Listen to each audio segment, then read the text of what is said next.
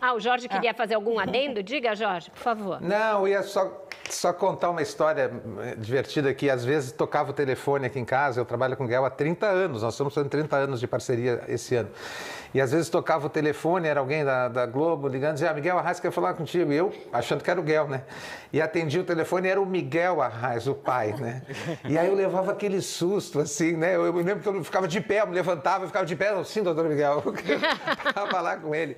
Porque, porque ele falava, é um personagem da história do Brasil, né? Ele falava só em coisas muito altas, assim, né? E às vezes eu e o Miguel estava no meio de uma discussão de um pudim na geladeira ou não, numa cena, e ele ligava o Miguel Arraes falando falando da, da liberdade dos, trabalhadores e tal.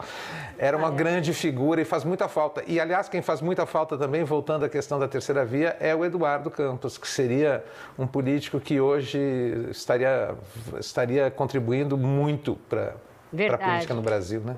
Convivi bastante com os dois e concordo.